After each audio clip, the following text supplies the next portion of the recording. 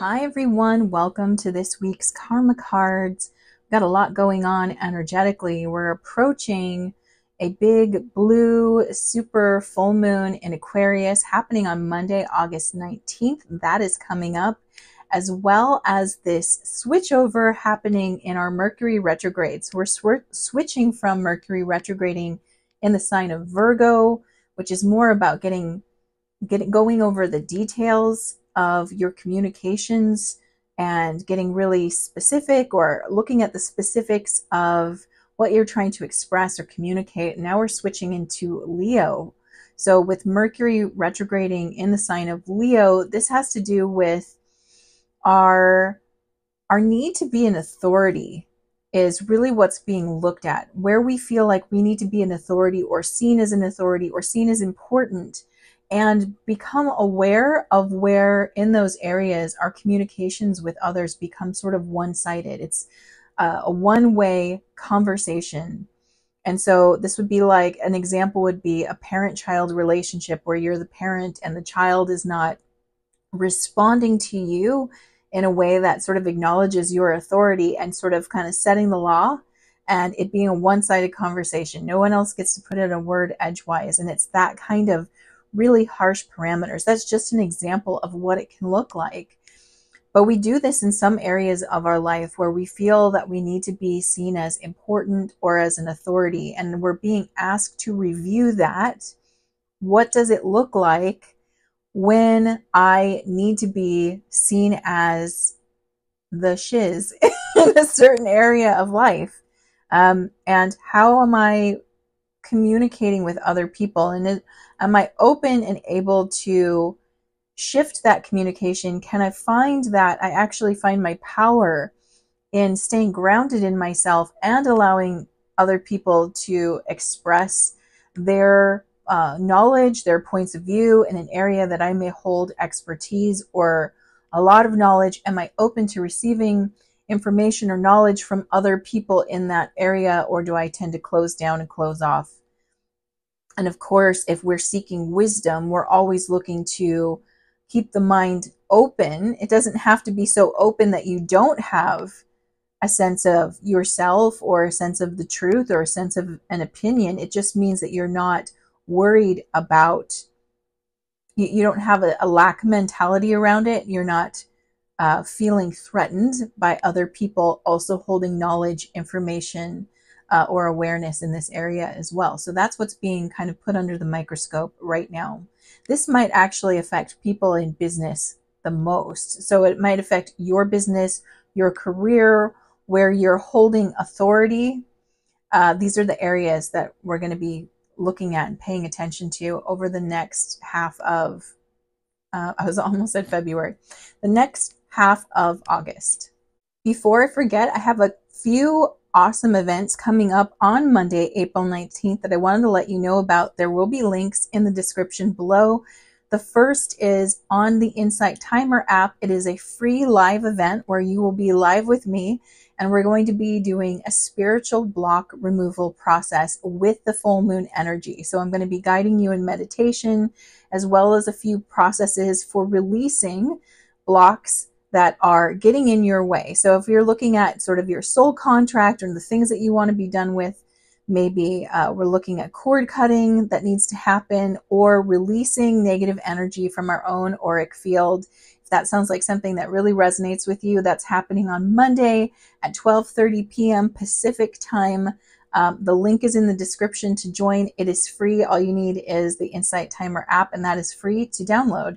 Um, so feel free to join me for that. And if you want to take it even deeper and go into the actual messages that are coming through with this super blue full moon in Aquarius, you can always join the Spirit Circle where we go deeper into the material. We sort of really unravel and look at the areas of life that the cosmos is pointing at and showing us how to handle, as well as doing meditation. There's the channeling that comes through. I don't know who's going to come through, but there's always something really interesting that comes through in the channeling portion. And of course, there's psychic Q&A where you can ask me a question and I can give you a reading on what I'm getting for you. If that sounds interesting, there's a link in the description below for you to join us there, and I'd love to see you. All right, so we've had a lot of solar energy as well as these astrological movements that are coming up. We've jumped timelines again. And for those who haven't heard it in the podcast or weren't at my live channeling on Insight Timer on the 888 portal, the uh, Golden Circle Council of Sirius came through and they talked about timeline jumps that are happening in the month of August. We had had one already before the 888 portal. We just had another timeline jump just a few, like two days ago, I believe. I, I want to say it was on the 13th of August. We had a timeline jump, which means there's two more coming within this month. And there's a lot of energy. Things are ramping up. There are events going on in the outside world that are meant to scare you. They are meant to invoke fear for many different agendas. And we don't really need to go into what their agenda is because it's always about control. It's always about maintaining this old structure. And as you know, that has to come apart. But there is new waves of information about events coming, fearful, scary events. And this is where the team wants to talk to you today. I'm going to pull something that came through from that 888 uh, Lionsgate channeling that I did. I want to share with you what they said because it's so potent. It was so on target, and I'm so happy they gave us that information. I want to make sure you can hear it. Unfortunately, I cannot download uh, that channeling from the Insight Timer app. You're not allowed to take content off of there and it was live, so it's not recorded in that way. I do want to share with you the main point of the message. And the main point of the message was your greatest tool at this time, your greatest power at this time is love. Sounds simple. It sounds like the stuff we've already always heard, but they broke it down in a way to help you understand.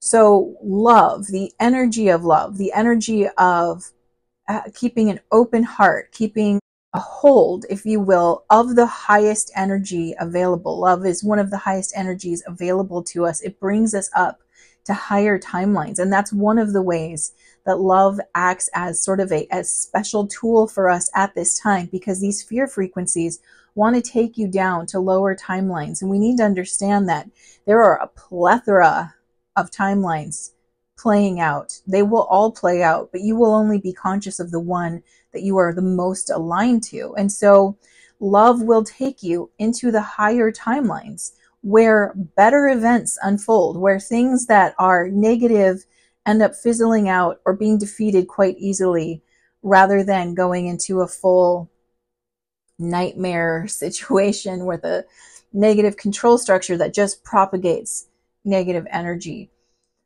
And so they want you to know that love is going to take you up to these higher timelines. Number one. Number two, love is the polar opposite to fear. So if they lived on a spectrum, it wouldn't be love and hate, it would be love and fear because we hate what we fear. Fear is the opposing force to love.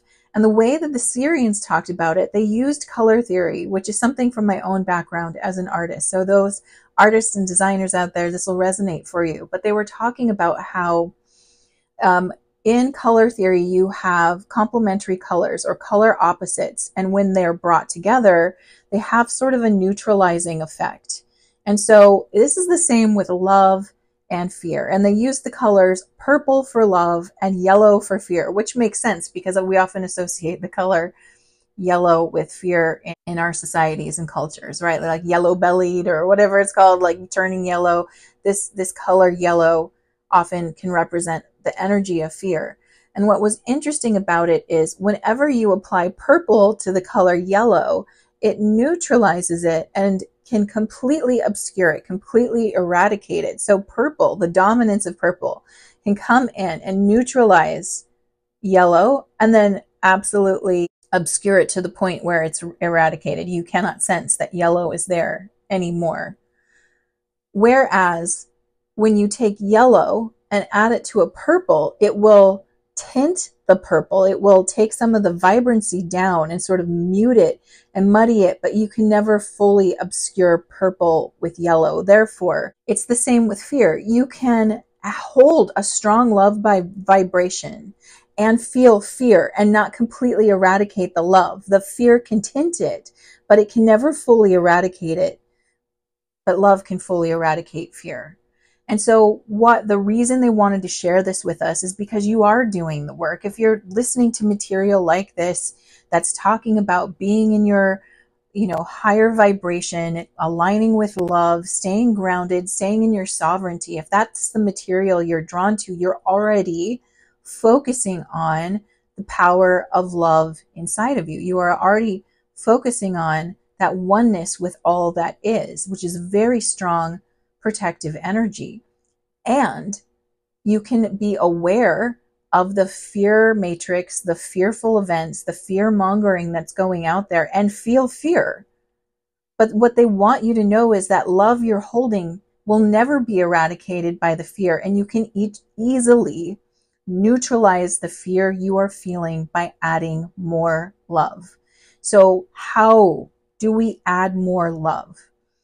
One of the ways, one of the strongest ways you can add more love is through appreciation and gratitude.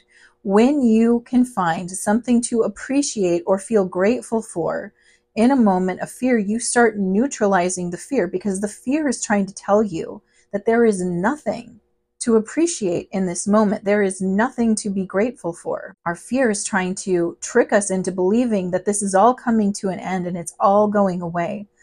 And we know that scarcity isn't true. There's more than enough. Now, there's a scarcity game, just like there's a fear game. But the reality is that there is more than enough.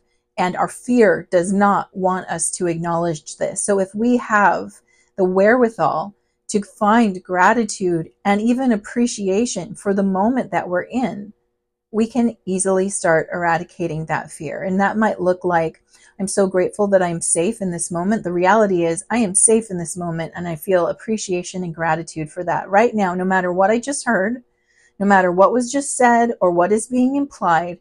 I am here. I am alive. I am divinely connected. I'm always protected. I am safe, and I am grateful for this moment. And that's the truth. Same thing when you hear upsetting information around money. You can look at the money that is around you that you have and you can acknowledge and appreciate its presence. It's the same with, you know, people you love. People, you know, they're they're trying to fear people into, oh, a big scary virus is coming. Guess, oh, you better get scared, get really scared. Let's let's all freak out and panic and make rash decisions again right? They're going to try and do that. And instead, what you can do is, yeah, I hear that. I do not consent is such a powerful phrase. We'll get into that in a moment. After stating whether you consent or not to whatever program you're being offered, you can then look around say, I'm grateful for my health. I am in beautiful health right now. And I take great care of myself. In fact, I'm going to do an act right now, an act of love that will show how much I love myself. I'm going to drink some water or I'm going to do some yoga or meditation or something that'll calm my nervous system. I'm going to put my legs up the wall because that is such great that's such a great way to take care of my nervous system when I get bombarded with scary information is I'm going to reset my nervous system right after that. That's a way I can show love to myself. Look, my children are healthy. My husband, my partner, my family, my extended family, the people I love are healthy. Look, I can still communicate with the people I love, right? I, I can call up a person right now and tell them how much I love and care about them. These are all acts that are acts based in love and they are affirming your life rather than affirming your fear. And when you affirm life, you are using the vibrational energy of love. And that's going to take you again into higher frequencies. And again, let's go into the consent portion because this is how the game is played. And we need to be aware of the game in order to beat the game. And yes, some of us are like, I don't want to play the game. I get you. I don't want to play the game, but the game is here and we're in it. So we can try to opt out, um, but we are on planet Earth, right? We're on here, this Earth there's a game afoot. Here's how we can play and play and even that playing field. When we are being presented with fearful information, the hope from our negative opponent is that you will assume it's true and assume you have no choice. And so what they're working with is either acquiesce to their plan or try to shut it out, but don't say anything about it, right? Just either comply, which is their the best version, or ignore, which is also good for them. Why is that? Because if you do nothing about it, then they can call that implied consent. You didn't say yes, but you didn't say no. And one of the best ways you can combat fearful information, even as it comes into your field, is say, I do not consent. I do not consent to a new virus. I do not consent to, Uh, you know, the, the stealing of data on a mass level, right? I do not consent to manipulation. I do not consent to the lies. I do not consent to propaganda. I do not consent to whatever it is you want to say. I do not consent is so powerful. Why? Because in order to create something, they need group consciousness on board. They need mass collective consciousness to agree. It's our collective collective consciousness that creates for us, just like it's our subconscious in us individually.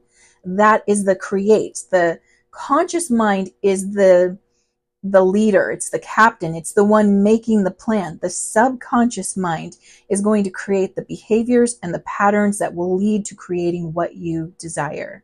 So they're using that, but on a mass scale. And what they need is they either need total compliance, which is impossible to get because no one's ever, a group will never totally comply. But for those that won't comply, they need your ignorance. They need you to be distracted and not paying attention or be dismissive because that can be perceived as implied consent, right? When it comes to stating, I do not consent to blank, what you are doing is you are sending out an energetic frequency that disrupts their frequency. So we're working just with consciousness here. Everything is based off frequency. It's mind over matter, right? So the mind has to start the creation of whatever's coming, whether it's a beautiful experience, a negative experience, whatever it is.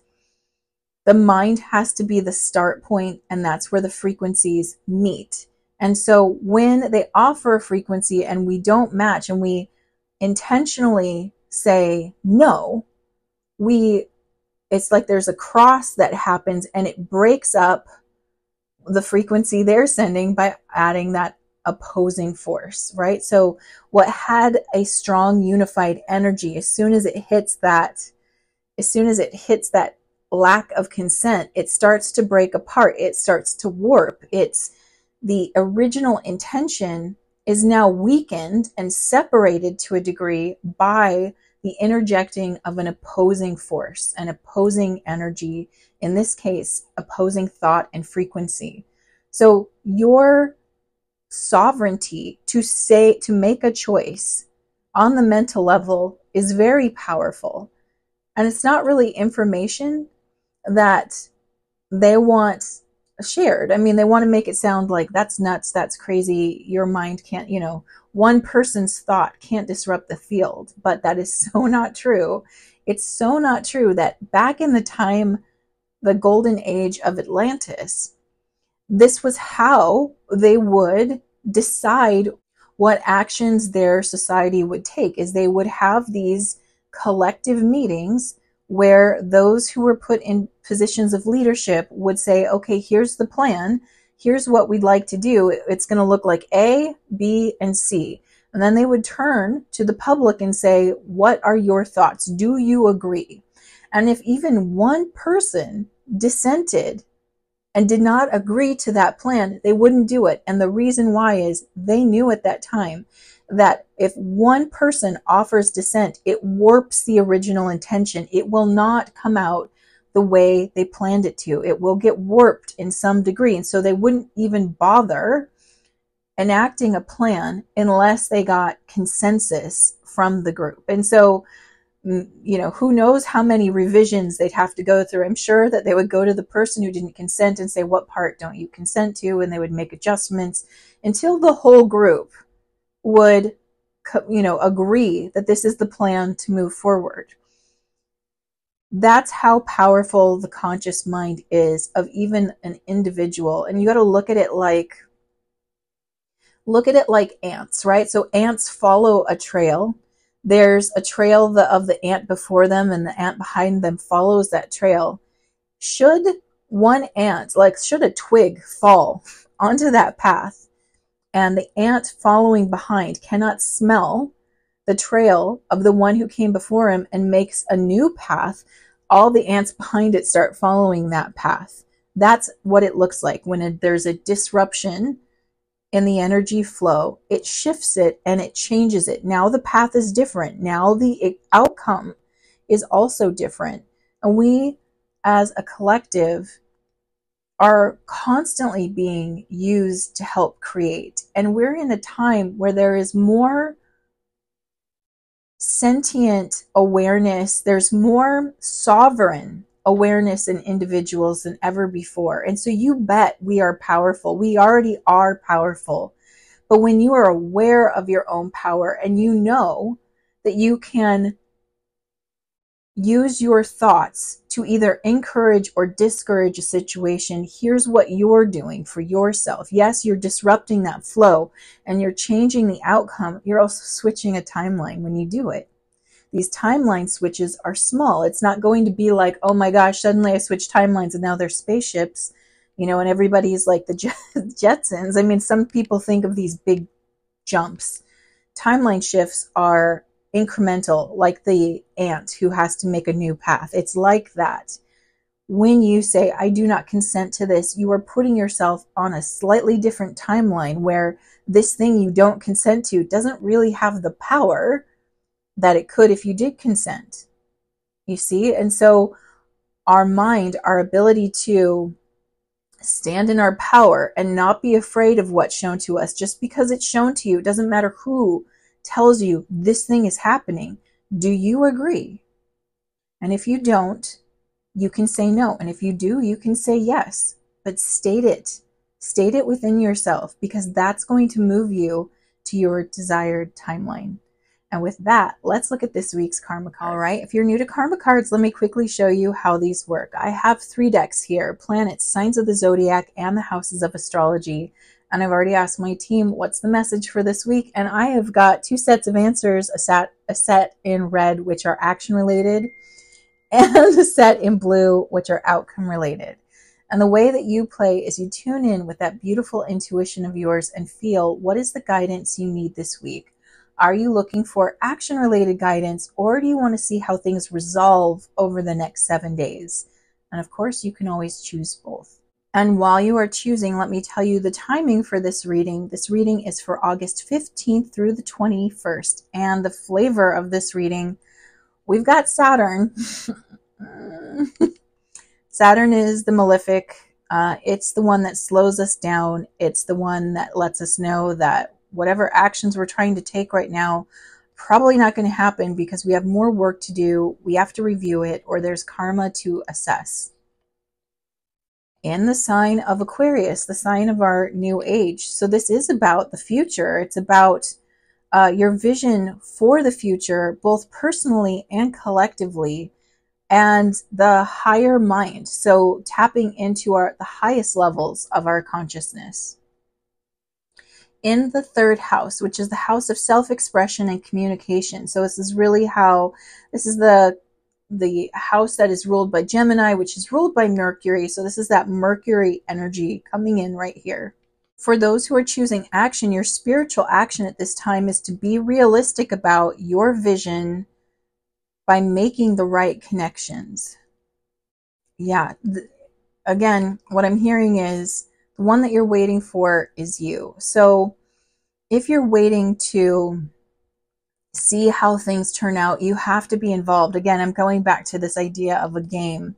One of the ways that you can look at why are we on earth at all? Like, why is this happening from a spiritual perspective is that it's a simulation and it acts as kind of like a cross between a graduate school and a game at the same time. So it's a gamified learning program and you're learning by doing. You're learning by going through experiences and making choices.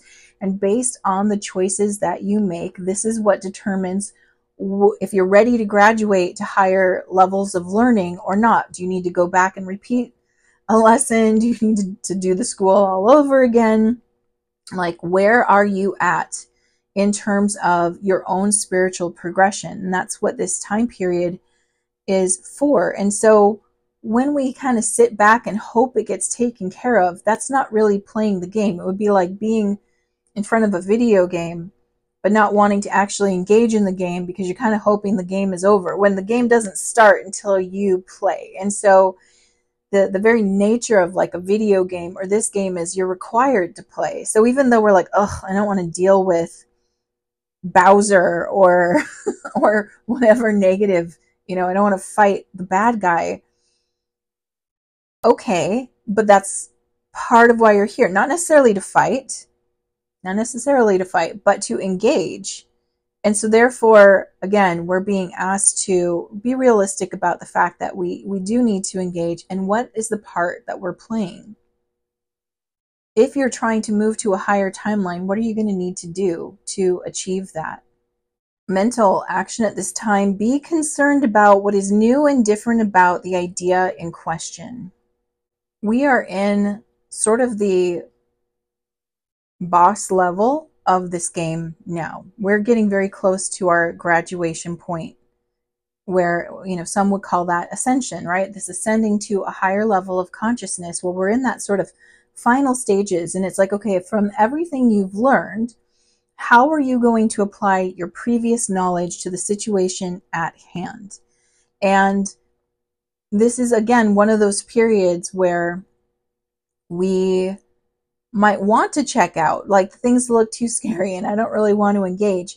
There's a strategy to it though, right? There's a strategy to which, again, like I said before, we can use the, the power of face it and say, I don't consent. I'm, I'm changing this right now, using my consciousness to meet the frequency that is being presented to me. And I'm interrupting. I'm saying no, right? That's one of the ways we can do it. And then it's like, once I've made a choice about that, then I can be like, this no longer deserves my attention. I'm no longer giving it my attention and energy because where focus goes, energy grows. And I do not wish to grow this anymore. That's a strategy versus I can't look at this.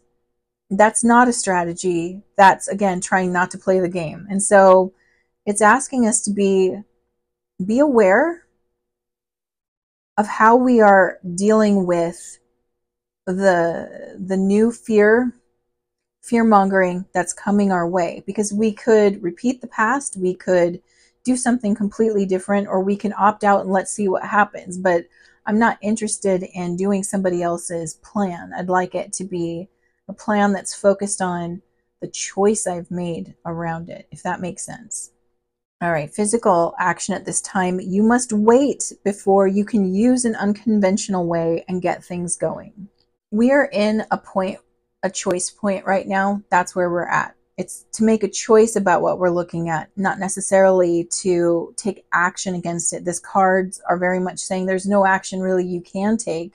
It's a consideration, it's a contemplation, and it's a choice point, right? Again, Saturn's connected to karma, and karma is a neutral term. It's just the outcome of your choice, the outcome of your action. If you choose this, you get that. If you choose this other thing, you get this other thing, right? And this is the point uh, that we are at right now. So it might feel like, I want to do something about it. Like I'd like to opt out, or I don't want to play, or I'd like to hit pause, or whatever it is. No action to be done, only choices to be made internally at this point about whether or not you consent is kind of the feeling I get. Do you consent to what they're showing you or not? And if you're not seeing it yet, don't worry. Soon it's going to be everywhere. But I'm telling you, we're at this, the, again, the precipice right now where things are about to like snowball and the fear ramping up will be very real on one level, meaning that they're really trying to get us to be afraid. And yet, fear is still a choice. And even if you felt a little fear, you can always neutralize it by adding more love to the situation. All right, now let's look at outcomes for Saturn in Aquarius in the third house of communication.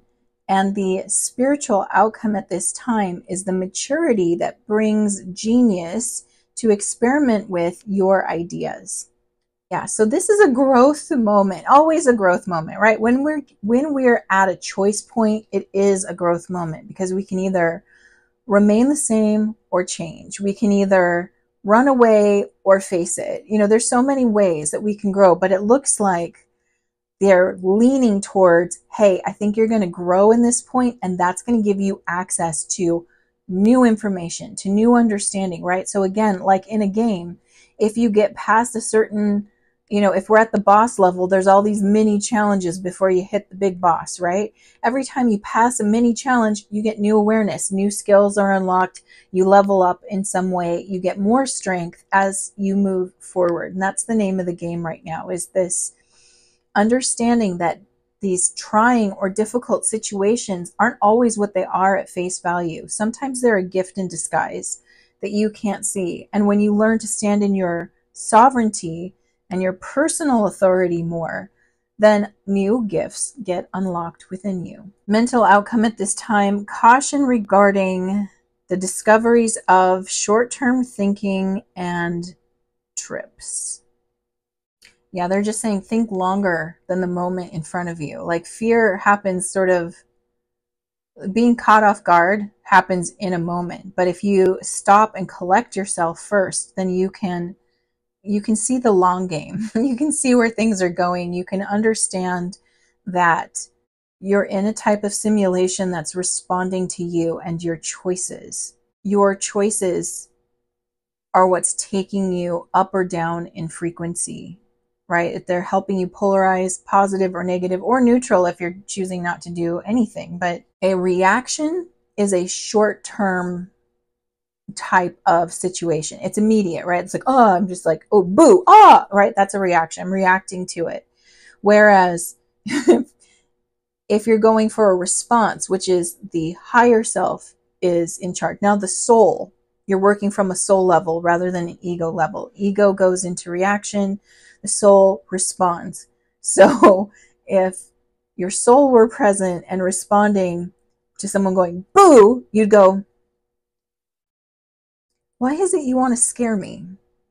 I'm curious. Like what what's the what's your deal there? like that's a response, right? It's it's considerate, it's taking a moment to sort of assess the situation and gain focus. So it's just letting us know we we need to be careful in our reactions, right? So the reaction has an emotional a reaction gets an emotional bump. An emotional bump sends energy to the thing you're reacting to. So if you're reacting, like let's say someone antagonizes you and you get mad and yell at them, who's getting the energy?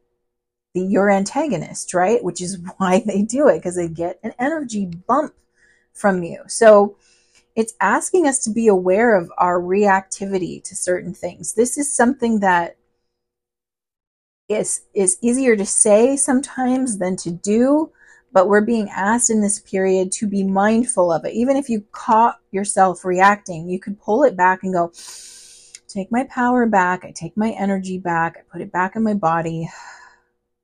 I'm going to go put my legs up the wall. I'm going to think about this. Why is this making me react so much i'm going to sit with that until i can understand where I'm coming from. And then when I understand where I'm coming from, now I can choose. I can choose now to respond. And that's going to shift things for us as well, right? Physical outcome at this time, limits imposed resulting from the eccentricity of who and what is around you.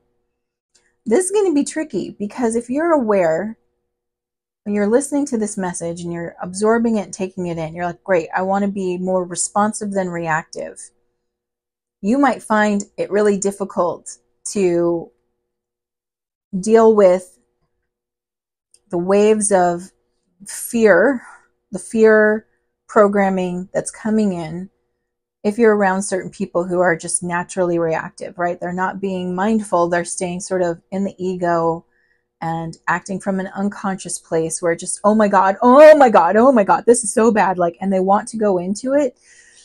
That's going to be a bit of a caveat for you to do your work of raising yourself up and out of it. It doesn't mean you can't. It just makes it more difficult when you get people, again, you're watching them give energy to something even though they don't want to that's that's not our intention when we react we're not really thinking about what we're doing are we we're mindless with it we're not thinking i'm giving this energy i'm giving this energy we're just giving it without thinking about it and in this period of time as we're getting served more and more fearful scenarios for us to choose whether we're reacting or responding and you're around people who are very reactive, it's going to feel harder to move into response because you might feel reactive to their reactivity, right? Like, so it can become sort of a chain reaction where it's not really you reacting to the, the incident, but rather you reacting to the person reacting, right? So you can see that chain reaction.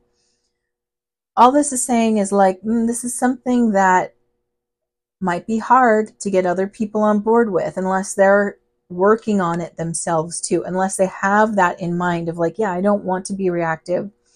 Yeah, I'm not giving my power away to any agenda. Yes, I'm staying in my sovereignty and I know I have a frequency that will either add to or disrupt the other frequency being offered. So if they're in that place, and they get a little reactive, you'll know that they're recovering because they'll try to work through it. That's different than people who are mindlessly reacting and they're building it up. And you can tell who they are by how they sort of like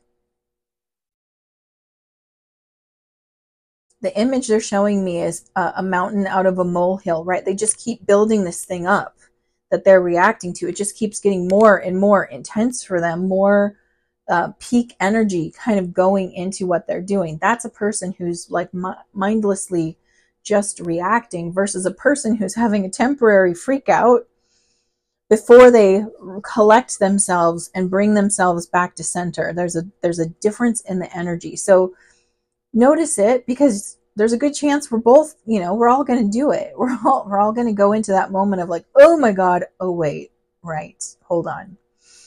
No no, no, no, right? We will have moments like that. That's okay. And remember, remember what the Sirian said. It's like, no, your, your love cannot be obscured by fear, only tinted, but just add more love and you'll neutralize that. You will neutralize it back into love. So that's a different energy. People who are escalating in their fear, that's reactivity. Those are the ones who it's going to be hard to do this work around. So do your best to sort of add space between you and them. This doesn't mean you cut them off in any way. It just means like maybe maybe we need to talk about something different during this time. Maybe we focus on something else together. Maybe I limit the amount of time that I hang out with this person right now only because they're really building it up. And when they start coming down or calming down or they want to change their perspective, then we can move forward. Just notice that and do your best to balance yourself because at this time, eh, again, with the Leo and Mercury retrograde, it's going to be easy to want to be like, tell someone to chill out or tell someone that you're you're freaking out is freaking me out and trying to control them so you can feel better. That's never going to work. We're never going to be able to do that. Free will is a real thing. We need to understand their side of the street is not yours to clean. It's your side of the street, what you are doing. That's your responsibility. And hopefully, what they'll see is, wow, you know, so and so is really pulling themselves together. They really seem okay. They really seem grounded and balanced, and they're not in a place of fear. They're in a place of more grounded energy and peace. I would like to be like that. Maybe I should ask them, like, what do you, what do you know? What are you doing that's helping you? And that will be how you help them. But first, maintaining your own energy field and keeping that clear. That's the priority as always. And with that, I'm sending you so much love. Mwah.